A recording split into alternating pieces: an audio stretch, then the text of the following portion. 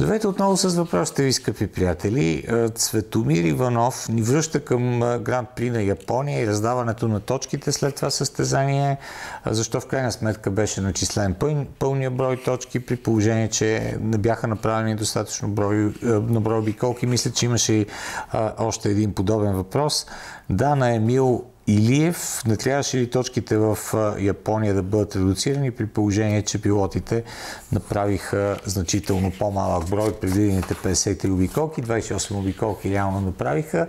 Ми, мисля, че тази тема стана обект на страшно много коментари и а, действително се оказа, че независимо от а, оговореността, която е имало между отборите, между ФИА, между Либерти, да се раздават много по-малко на брой точки тогава, когато не са направени дори 75% от състезателната дистанция, тогава, когато са направени само няколко обиколки, както беше случая на СПА, би трябвало също да се раздадат значително по-малък брой точки, но при цялата тази дискусия и оформянето на правилата за 2022 година, някак си хората, които са изготвили последния, как да кажа, вариант на написаното, са оставили тази подробност, че тогава, когато състезанието завърши с кариран флаг, то би трябвало да се смята за напълно завършено и се присъждат пълния брой точки.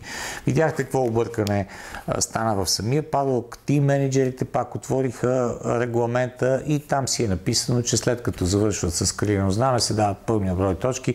Самите пилоти, самите експерти в отборите също не бяха съвсем наясно че независимо от, пак казвам, вече така договорените промени в правилата, регламента остава по един а, малко по-класически начин и независимо от факта, че не са направени нужния брой обиколки, на Макс му дадоха пълния брой точки в, в Япония и той бе а, световен шампион за втори път. Не, че това нали, можеше да се случи в след, следващите състезания, но, но просто още едно, а, как да кажа, много не, не съвсем домислено и не съвсем правилно представено и изобщо изградено решение и написване на правилата от страна на ФИА, което а, просто само, само хвърля допълнително а, сянка върху начина по който се случват нещата, което не би трябвало да е така, защото а, самия Хорна каза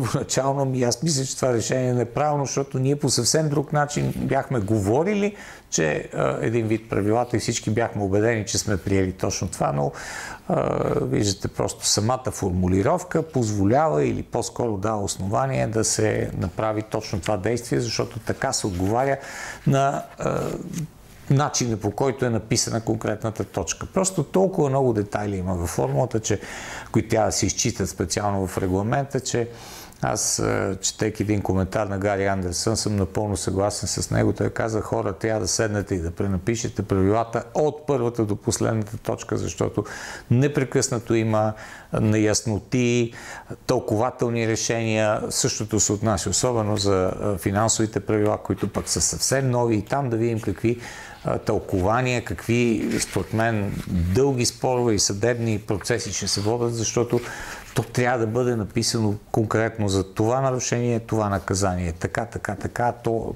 тези, тези точно ясни формулировки не съществуват. Това е с Гран При на Япония. Просто, просто поредния не е съвсем а, добре написан и добре разчетен регламент от страна на Федерацията. Благодаря за въпроса. Ще бъдем отново заедно съвсем скоро.